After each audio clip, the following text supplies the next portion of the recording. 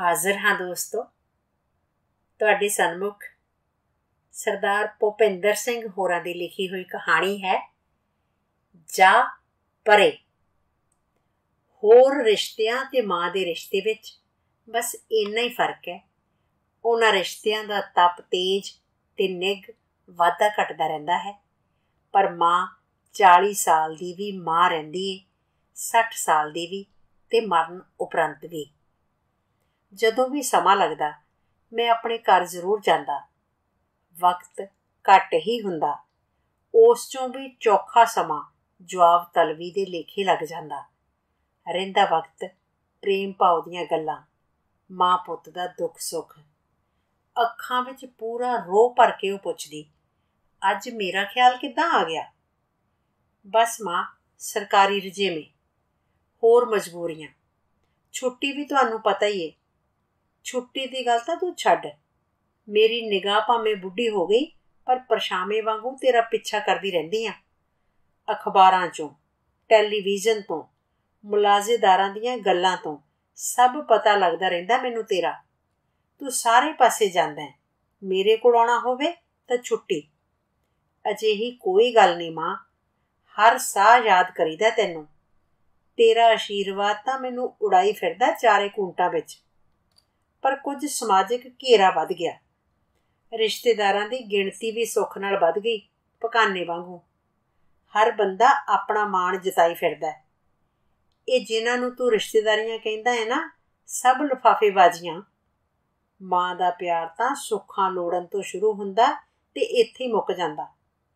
ਤੂੰ ਸਮਝ ਲੈ ਵੀ ਇਸ ਉਮਰੇ ਹੁਣ ਮਹਾਰਾਜ ਤੋਂ ਮੰਗਣਾ ਵੀ ਕਿਆ ਹੋਇਆ। ਬਸ ਤੁਹਾਡੀ ਜੈ ਜੈਕਾਰ ਨੌ ਨਿਦਾ ਤੇ 12 ਸਿਧਾਂ ਤੁਹਾਡੀਆਂ। ਜੋੜੀਆਂ ਸਲਾਮਤ ਰੱਖੀ ਸੱਚੇ ਪਾਤਸ਼ਾਹ। ਸਿਰਫ ਮਾਂ ਹੀ ਹੈ ਜੋ 9 ਮਹੀਨੇ ਸੱਤੇ ਖੈਰਾ ਮੰਗਦੀ ਹੈ ਆਸ ਔਲਾਦ ਦੀਆਂ। ਬੱਚਾ ਜੰਮਣ ਵੇਲੇ ਮਾਂ ਦਾ ਵੀ ਸਮਝ ਲੈ ਵੀ ਨਵਾਂ ਜਨਮ ਹੁੰਦਾ ਹੈ ਮਾਂ ਸਵਾ ਮਹੀਨਾ ਸੇਵਾ ਦੀ ਕਸਰ ਵੀ ਤਾਂ ਨਹੀਂ ਰਹਿੰਦੀ।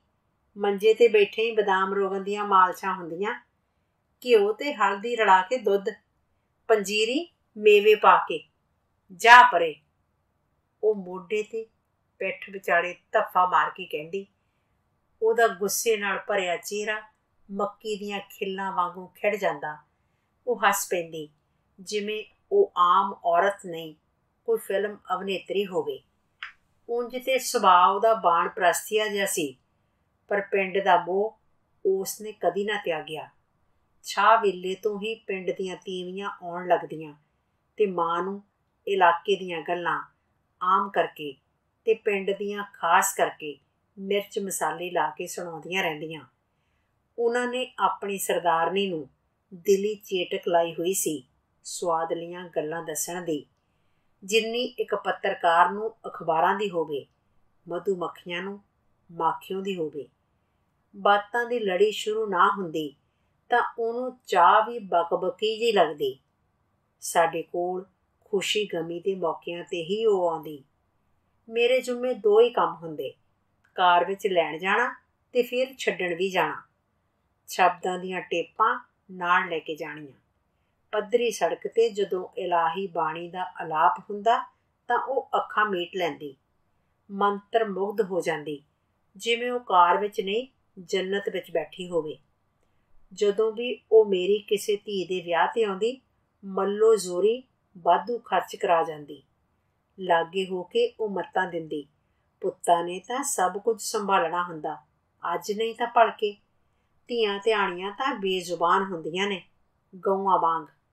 ਕਿਹੜਾ ਮੂੰਹ ਨਾਲ ਮੰਗਣਾ ਹੁੰਦਾ ਕੁਝ ਜੋ ਦੇ ਦਿੱਤਾ, ਉਸੇ ਨੂੰ ਮੁਕੱਦਰ ਸਮਝ ਲਿਆ। ਜੇ ਨਾ ਵੀ ਮਿਲਿਆ, ਤਾਂ ਵੀ ਮਾਪਿਆਂ ਦੀ ਠੰਡੀ ਬਾਹ ਉਡੀਕਦੀਆਂ। ਕਿਆ ਖਾ ਜਾਣਾ ਇਹਨਾਂ ਨੇ? ਇੱਕ ਸਿੱਟਾ ਬਾਜਰੇ ਦਾ ਨਹੀਂ ਮੁੱਕਦਾ। ਤਦੇ ਤਾਂ ਇਹਨਾਂ ਨੂੰ ਕੁੜੀਆਂ ਚਿੜੀਆਂ ਕਹਿੰਦੇ ਆ। ਕੁੜੀਆਂ ਨੂੰ ਭਲਾ ਚਿੜੀਆਂ ਕਿਉਂ ਕਹਿੰਦੇ ਆ ਮਾਂ? ਮੈਂ ਗੱਲ ਕਮਾਉਣੀ ਚਾਹੀ। ਦੇਖ ਇੱਲ ਦਾ ਵੀ ਆਲਣਾ ਹੁੰਦਾ ਤੋਤੇ ਵੀ ਖੁੱਡਾਂ ਖੋਹਾਂ ਕੱਢ ਲੈਂਦੇ ਆ ਰਹਿਣ ਲਈ। ਬਿਜੜਾ ਆਪਣੀ ਬਿਜੜੀ ਲਈ ਘੌਂਸਲਾ ਬਣਾਉਂਦਾ। ਕਹਿੰਦੇ ਆ ਜੇ ਆਪਸ ਵਿੱਚ ਅਣਬਣ ਹੋ ਜਾਏ, ਤਾਂ ਉਹ ਹੋਰ ਜੀਵਨ ਸਾਥਣ ਲਿਆਉਣ ਦਾ ਮਨ ਬਣਾ ਲੈ, ਤਾਂ ਪਹਿਲਾਂ ਉਹਦੇ ਲਈ ਵੱਖਰਾ ਘਰ ਬਣਾਉਂਦਾ। ਪਰ ਚਿੜੀਆਂ ਦਾ ਕੁਝ ਵੀ ਨਹੀਂ ਹੁੰਦਾ। ਘਰ ਨਾ ਦਰ ਅੱਗਾ ਨਾ ਪਿੱਛਾ। ਇਵੇਂ ਹੀ ਧੀ ਧਿਆਣੀਆਂ ਦਾ ਆਪਣਾ ਕੋਈ ਟਿਕਾਣਾ ਨਹੀਂ। ਮਾਪੇ ਜਵਾਕੜੀਆਂ ਜਿਹੀਆਂ ਨੂੰ ਪਾਲਦੇ ਆ, ਪਾਲ ਪੋਸ ਕੇ ਅੱਗੇ ਤੋਰ ਦਿੰਦੇ ਆ। ਅਗਲੇ ਸੰਭਾਲ ਲੈਣ ਤਾਂ ਜੀ ਸਦਕੇ, ਖੋਲਿਆਂ ਤੇ ਸੁੱਟ ਦੇਣ ਤਾਂ ਧੀ ਮੁੜ ਮਾਪਿਆਂ ਦੇ ਘਰ। ਚਿੜੀਆਂ ਦਾ ਤਾਂ ਮੈਨੂੰ ਪਤਾ ਨਹੀਂ ਮਾਂ, ਪਰ ਕੁੜੀਆਂ ਦੇ ਤਾਂ ਤਿੰਨ ਘਰ ਹੋ ਗਏ। ਮੈਂ ਵਾਤਾਵਰਣ ਵਿੱਚ ਆਈ ਕੁੜੱਤਣ ਨੂੰ ਮੂੜਾ ਪਾਇਆ। ਤਿੰਨ ਕਿਹੜੇ? ਉਸ ਹੈਰਾਨੀ ਨਾਲ ਪੁੱਛਿਆ। ਇੱਕ ਮਾਪਿਆਂ ਦਾ ਘਰ, ਦੂਜਾ ਸਹੁਰਿਆਂ ਦਾ, ਤੀਜਾ ਪੱਕਾ ਘਰ ਉਸ ਅਕਾਲ ਸ਼ਕਤੀ ਦੇ ਚਰਨਾਂ ਵਿੱਚ। ਜਾ ਪਰੇ। ਉਸ ਤਫਾ ਮਾਰਿਆ ਤੇ ਖੜਖੜਾ ਕੇ ਹੱਸ ਪਈ। ਉਹਦਾ ਸਾਰਾ ਸਰੀਰ ਹੱਸ ਰਿਹਾ ਸੀ। ਪਤਾ ਨਹੀਂ ਇਸ ਹਾਸੇ ਵਿੱਚ ਕੀ ਕੁਝ ਸੀ। ਕਿੰਨੀ ਕੁ ਕਸਕ ਤੇ ਕੜਵਾਹਟ। ਕਿੰਨੀ ਕੁ ਆਸ, ਕਿੰਨਾ ਕੁ ਸੱਚ ਤੇ ਕਿੰਨਾ ਕੁ ਝੂਠ। ਇਸ ਵਾਰ ਜਦੋਂ ਮੈਂ ਮਿਲਣ ਗਿਆ, ਤਾਂ ਮਾਂ ਖਾਸੀ ਡੋਲੀ ਹੋਈ ਸੀ। ਭੱਖ ਜਿਹੀ ਵੀ ਸੀ ਥੋੜੀ ਥੋੜੀ ਉਸ ਨੂੰ ਹੱਡ ਭੰਨਵੀਂ ਜੀ ਲੱਗੀ ਹੋਈ ਸੀ ਜਿਵੇਂ। ਕਾਕਾ, ਬਹੂ ਨੂੰ ਨਹੀਂ ਲਿਆਇਆ? ਆਵਾਜ਼ ਜਿਵੇਂ ਉਹਦੇ ਗਲ ਵਿੱਚੋਂ ਨਹੀਂ, ਦਿਲ ਦੀ ਕਿਸੇ ਨੁੱਕਰ ਚੋਂ ਆ ਰਹੀ ਹੋਵੇ। ਮਾਂ, ਮੈਂ ਸਰਕਾਰੀ ਦੌਰੇ ਤੇ ਗਿਆ ਸੀ। ਉਧਰੋਂ ਹੀ ਆ ਰਿਹਾ। ਘਰ ਨਹੀਂ ਗਿਆ। ਨਿੱਕੇ ਨਿਆਣੇ। ਪੋਤੇ ਪੋਤੀਆਂ ਦੇ ਬਿੰਬ ਜਿਵੇਂ ਉਹਦੀਆਂ ਅੱਖਾਂ ਵਿੱਚ ਲਰਜ਼ ਰਹੇ ਹੋਣ, ਪੰਬੂ ਤਾਰਿਆਂ ਦੀ ਤਰ੍ਹਾਂ। ਕੁਝ ਪੜਾਈਆਂ ਵਿੱਚ ਰੁਲੇ ਨੇ, ਕੁਝ ਗਮੇ ਰੋਜ਼ਗਾਰ ਵਿੱਚ। ਮੇਰਾ ਸਭ ਨੂੰ ਦੇਖਣ ਨੂੰ ਜੀ ਕਰਦਾ। ਇੰਜ ਦਿਲ ਕਰਨਾ ਚੰਗਾ ਸ਼ਗਨ ਨਹੀਂ ਹੁੰਦਾ ਮਾਈ। ਮੈਂ ਪੈਟਰੋਲ ਦੀਆਂ ਸਿਖਰ ਸ਼ੋਅ ਦੀਆਂ ਕੀਮਤਾਂ ਤੋਂ ਘਬਰਾ ਰਿਹਾ ਸਾਂ। ਸਾਡਾ ਟੇਪ ਖਰਾਬ ਜਿਹਾ ਹੋ ਗਿਆ। ਦਿਲ ਕਰਦਾ ਸੀ ਸ਼ਬਦ ਸੁਣਨ ਨੂੰ। ਇਹ ਕਿਹੜੀ ਸਮੱਸਿਆ ਹੋਈ? ਆਪਾਂ ਕਾਰ 'ਚ ਬੈਠ ਕੇ ਸੁਣ ਲੈਂਦੇ ਆ। ਮੈਂ ਸਲਾਹ ਦਿੱਤੀ ਤੇ ਟੇਪ ਦੀ ਤਲਾਸ਼ ਕਰਨ ਲੱਗਾ। ਉਹ ਪਹਿਲਾਂ ਹੀ ਆਪਣੀ ਸੀਟ ਤੇ ਸੱਜ ਕੇ ਬੈਠ ਗਈ। ਉਹ ਸਦਾ ਪਿਛਲੀ ਸੀਟ ਦੇ ਸੱਜੇ ਪਾਸੇ ਬੈਠਦੀ। ਜਰਾ ਮਾਹੌਲ ਖੁਸ਼ਗਵਾਰ ਬਣਾਉਣ ਲਈ ਮੈਂ ਕਿਹਾ, ਮਾਂ, ਆਹ ਸੀਟ ਤਾਂ ਤੂੰ ਬੈਕ ਕਰਾ ਲਈ ਲੱਗਦੀ ਹੈ ਜਿੱਥੇ ਬੈਠ ਗਏ ਬੈਠ ਗਏ। ਕੀ ਹੁੰਦਾ ਕੁੜੀਆਂ ਚਿੜੀਆਂ ਦਾ? ਮਾਂ ਤੂੰ ਤਾਂ ਪੁਰਾਣੀਆਂ ਦੇਸੀ ਕਣਕਾਂ ਤੇ ਦੇਸੀ ਘਿਓ ਦਾ ਤੁਰਦਾ ਫਿਰਦਾ ਵਿਗਿਆਪਨ ਹੈ। ਅੱਠ ਬਾਈਆਂ ਤੋੜ ਦਿੱਤੀਆਂ। ਨੌਵੇਂ ਨੂੰ ਪਾ ਲਿਆ ਕੁੰਡਾ। ਤੇ ਸਮਝਦੀ ਆਪਣੇ ਆਪ ਨੂੰ ਤੂੰ ਅਜੇ ਵੀ ਕੁੜੀ ਚੜੀ ਹੈ ਉਹ ਬੋਲੀ ਕੁਝ ਨਾ। ਕੇਵਲ ਹੇਠਲਾ ਬੁੱਲ ਉਤਲੇ ਦਸਹਿਰੀ ਦੰਦਾਂ ਨਾਲ ਚਿੱਥ ਕੇ ਮੇਰੇ ਵੱਲ ਗੁੱਸੇ ਨਾਲ ਦੇਖਿਆ। ਫਿਰ ਆਪਣੇ ਆਪ ਮੁਸਕਰਾ ਪਈ। ਉਹਦੇ ਬੁੱਲਾਂ ਦੀਆਂ ਝੁਰੜੀਆਂ ਅਲੋਪ ਹੋ ਗਈਆਂ। ਚਿਹਰਾ ਵੀ ਥੋੜਾ ਸਾਫ਼-ਸਾਫ਼। ਨੌਵੇਂ ਪਾਤਸ਼ਾਹ ਦੇ ਸੋਗਵੇਂ ਸ਼ਬਦ ਵੀ ਉਸ ਨੇ ਇਸੇ ਮੁਦਰਾ ਵਿੱਚ ਸੁਣੇ। ਕਦੋਂ ਆਏਗਾ ਹੁਣ? ਇੰਜ ਲੱਗਦਾ ਜਿਵੇਂ ਕੋਈ ਉਹ ਬਚਨ ਲੈਣਾ ਚਾਹੁੰਦੀ ਹੋਵੇ। ਛੇਤੀ ਹੀ ਆਵਾਂਗਾ। ਇਹ ਤਾਂ ਕੋਈ ਗੱਲ ਨਹੀਂ ਹੋਈ। ਉਹਦਾ ਮਨ ਕਈ ਕੁਝ ਕਹਿਣ ਸੁਣਨ ਨੂੰ ਕਰਦਾ। ਬਸ ਛੇਤੀ। ਮੈਂ ਉਡੀਕਾਂਗੀ ਤੈਨੂੰ। ਕਾਰ ਦੀ ਘੂਕਰ ਵਿੱਚ ਸਭ ਕੁਝ ਗੁੰਮ ਹੋ ਗਿਆ। ਉਹਦੀਆਂ ਆਸਾਂ ਵੀ, ਖੁਸ਼ੀ ਵੀ, ਗਮੀ ਵੀ, ਗੱਲਾਂ ਵੀ ਤੇ ਕਈ ਕੁਝ ਹੋਰ। ਕੁਝ ਦਿਨਾਂ ਮਗਰੋਂ ਮੈਨੂੰ ਟੈਲੀਫੋਨ ਆਇਆ, ਮਾਂ ਚੜਾਈ ਕਰ ਗਈ। ਬਿਨਾਂ ਦੱਸਿਆਂ ਪੁੱਛਿਆ ਉਹ ਤੁਰ ਗਈ। ਉਹਨਾਂ ਰਾਹਾਂ ਤੇ, ਜਿਹਦੀਆਂ ਪਗਡੰਡੀਆਂ ਤੇ ਸਿੱਧੇ ਪਦ ਚੈਨੀ ਲੱਗਦੇ ਨੇ, ਉਲਟੇ ਕਦੀ ਨਹੀਂ। ਚਿੜੀ ਨੂੰ ਵੀ ਬਨੇਰੇ ਤੋਂ ਉੜਦੀ ਨੂੰ ਸਮਾਂ ਲੱਗਦਾ ਏ। ਉਹਨੇ ਤਾਂ ਇੰਨਾ ਝਟਕਾ ਵੀ ਨਹੀਂ ਸਹਾਰਿਆ ਕੁਦਰਤ ਦਾ। ਤਵੇ ਤੇ ਰੋਟੀ ਸੇਕਣ ਲਈ ਵੀ ਸਮਾਂ ਦਰਕਾਰ ਏ, ਪਰ ਇੰਨਾ ਸਮਾਂ ਵੀ ਉਸ ਕਿੱਥੇ ਦਿੱਤਾ? ਦਾਗ ਦੇ ਦਿੱਤੇ। ਫੁੱਲ ਵੀ ਚੁਗ ਲਏ, ਪਰ ਵਿਸ਼ਵਾਸ ਨਾ ਆਵੇ। ਕਿਵੇਂ ਕਰੀਏ ਯਕੀਨ? ਸਾਰੇ ਆਲੇ ਦੁਆਲੇ ਦੀ ਖਬਰ ਰੱਖਣ ਵਾਲੀ ਦੀ ਹੁਣ ਆਪਣੀ ਖਬਰ ਹੀ ਕੋਈ ਨਹੀਂ ਸੀ। ਪਿੰਡ ਦੇ ਸਿਆਣਿਆਂ ਨੇ ਮੈਨੂੰ ਸੇਵਿਆਂ ਵਿੱਚ ਬੁਲਾਇਆ ਤੇ ਪੂਰੀ ਵਿੱਦਿਆ ਪੜਾਈ ਦੇਖੋ ਕਾਕਾ ਜੀ ਇਹ ਪਰਨਾ ਮੋਢਿਆਂ ਤੇ ਰੱਖਣਾ। ਇੱਕ ਲੜ ਧਰਤੀ ਤੇ ਕਸਰਦਾ ਬਿਨਾਂ ਬੋਲਿਆਂ ਬੁਲਾਇਆ, ਪਹਿਲਾਂ ਘਰ ਜਾਣਾ। ਮਾਤਾ ਜੀ ਨੂੰ ਆਵਾਜ਼ ਦੇਣੀ ਹੈ ਆਓ ਮਾਤਾ ਜੀ ਚੱਲੀਏ। ਸਾਰੇ ਕਮਰਿਆਂ ਵਿੱਚ ਇਹੋ ਕਹਿੰਦਿਆਂ ਗੇੜੀ ਲਾਉਣੀ। ਫਿਰ ਮਾਤਾ ਜੀ ਨੂੰ ਨਾਲ ਲੈ ਕੇ ਅਸਤ ਜਲ ਪ੍ਰਵਾਹ ਕਰਨ ਜਾਣਾ। ਰਸਤੇ ਵਿੱਚ ਮਾਈ ਲਈ ਇੱਕ ਸੀਟ ਬੇਲੀ ਰੱਖਣੀ ਹੈ ਜੇ ਰਸਤੇ ਵਿੱਚ ਚਾਹ ਆਦ ਪੀਣੀ ਹੋਵੇ ਤਾਂ ਕਹਿਣਾ ਆਓ ਮਾਤਾ ਜੀ, ਚਾਹ ਪੀ ਲਈਏ। ਇੱਕ ਕੱਪ ਚਾਹ ਦੇ ਪੈਸੇ ਢਾਬੇ ਵਾਲੇ ਨੂੰ ਵਾਧੂ ਦੇਣੇ ਆ। ਮੰਜ਼ਲ ਤੇ ਜਾ ਕੇ ਕਹਿਣਾ, ਆਓ ਉਤਰੀਏ, ਚੱਲੀਏ ਆਪਣਾ ਘਰ। ਮੈਂ ਕਿਹਾ, ਚਾਚਾ ਜੀ, ਸਰੀਰ ਨੂੰ ਅਗਨੀ ਦਿਖਾ ਦਿੱਤੀ। ਰੂਹ ਪ੍ਰਵਾਜ਼ ਕਰ ਗਈ ਸਰੀਰ ਤੋਂ। ਹੁਣ ਇਹ ਅੰਧ ਵਿਸ਼ਵਾਸ?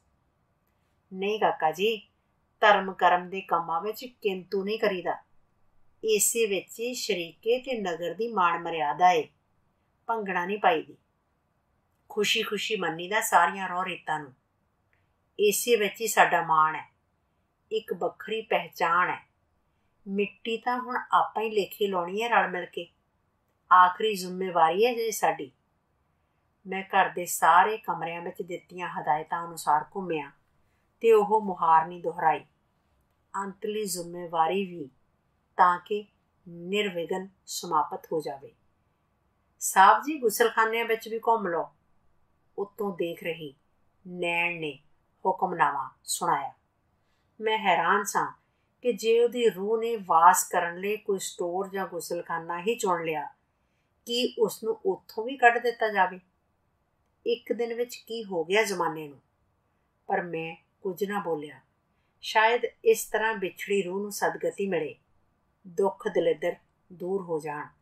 84 ਕੱਟੀ ਜਾਵੇ। ਮੈਂ ਕਾਰ ਵਿੱਚ ਆ ਬੈਠਾ। ਉਹ ਪਿਛਲੀ ਸੀਟ ਦੇ ਸੱਜੇ ਪਾਸੇ ਥਾਂ ਰਾਖਮੀ ਰੱਖ ਦਿੱਤੀ। ਮੈਂ ਰਸਤੇ ਵਿੱਚ ਕਿਸੇ ਨਾਲ ਨਹੀਂ ਬੋਲਿਆ। ਕੇਵਲ ਆਪਣੀ ਮਾਂ ਨਾਲ ਰੂਬਰੂ ਰਿਹਾ। ਜੇ ਜਾਣਾ ਹੀ ਸੀ ਤਾਂ ਇੰਨੀ ਕਾਲ ਕਾਦੀ ਉਡੀਕਵਾਨ ਅੱਖਾਂ ਹੀ ਮਿਲ ਕੇ ਰੱਜ ਲੈਂਦੀਆਂ। ਜਾਂ ਮੈਨੂੰ ਕੋਈ ਇਤਲਾਹ ਦਿੱਤੀ ਜਾਂਦੀ? ਮੈਂ ਛੇਤੀ ਆ ਜਾਂਦਾ। ਹੋਰ ਛੇਤੀ। ਫਿਰ ਆਪ ਹੀ ਉੱਤਰ ਦਿੰਦਾ ਇਹਨਾਂ ਗੱਲਾਂ ਦਾ ਤਾਂ ਜਾਣ ਵਾਲੇ ਨੂੰ ਖੁਦ ਹੀ ਪਤਾ ਨਹੀਂ ਹੁੰਦਾ। ਅੱਗੇ ਕੀ ਦੱਸੇ? ਅਸੀਂ ਮੰਜ਼ਲ ਤੇ ਪਹੁੰਚ ਗਏ। ਕੀਰਤਨ ਹੋ ਰਿਹਾ ਸੀ। ਉਹਦੇ ਮਨਪਸੰਦ ਦੇ ਸ਼ਬਦਾਂ ਦਾ ਉਚਾਰਨ। ਪਤਾਲਪੁਰੀ ਅਸਤ ਪ੍ਰਵਾਹ ਕਰਨ ਲੱਗਿਆ। ਮੈਂ ਕਿਹਾ, ਇਹੋ ਗੱਡੀ ਸੀ, ਜਿਸ ਤੇ ਹਮੇਸ਼ਾ ਆਇਆ ਜਾਇਆ ਕਰਦੀ ਸੀ। ਅੱਜ ਆਖਰੀ ਵਾਰ ਵੀ ਇਹ ਸੇਵਾ ਮੇਰੇ ਜ਼ਿੰਮੇ ਲਈ। ਅੰਤਲੀ ਵਾਰ ਮੈਂ ਹੀ ਤੈਨੂੰ ਲੈ ਕੇ ਆਇਆ। ਤਿੰਨ ਪੁਸ਼ਤਾਂ ਦੀ ਸੇਵਾ ਸਵੀਕਾਰ ਕਰ। ਇੱਕ ਪੁਸ਼ਤ ਨੇ ਮਾਪਿਆਂ ਦੇ ਘਰ ਲਾਡ ਦੁਲਾਰ ਦਿੱਤਾ। ਦੂਜੀ ਨੇ ਆਪਣਾ ਘਰ ਸਜਾਇਆ। ਤੈਨੂੰ ਸਰਦਾਰ ਨਹੀਂ ਬਣਾਇਆ ਸਭ ਪਾਸੇ ਦੀ। ਅੱਜ ਤੀਜੀ ਪੁਸ਼ਤ ਤੈਨੂੰ ਰੱਬ ਨੂੰ ਸੌਂਪਣ ਆਈ ਹੈ ਹੁਣ ਸਾਡੇ ਵੱਸ ਦੀ ਗੱਲ ਬੇਵਸ ਹੋ ਗਈ। ਹਾਂ, ਇੱਕ ਗੱਲ ਯਾਦ ਕਰਾਵਾਂ? ਤਿੰਨ ਘਰ ਹੋ ਗਏ ਨੇ ਤੇਰੇ। ਜਾ ਪਰੇ। ਇੰਜ ਲੱਗਾ, ਮੇਰੀ ਮਾਂ ਨੇ ਪੂਰਾ ਪਿਆਰ ਦੁਲਾਰ ਦਿੱਤਾ ਤੇ ਨਾਲੇ ਮੋਢੇ ਤੇ ਪੈਠ ਵਿਚਾਲੇ ਤਫਾ ਮਾਰਿਆ। ਪਤਾਲਪੁਰੀ ਲਾਗੇ ਉੱਗੇ ਰੁੱਖਾਂ ਤੇ ਚਿੜੀਆਂ ਚਹਿ ਚਹਾ ਰਹੀਆਂ ਸਨ। ਬੇਕਰ ਬੇਆਲਣਾ, ਬੇਆਸਰਾ ਰਹੀਆਂ। ਸ਼ੁਕਰੀਆ ਦੋਸਤੋ।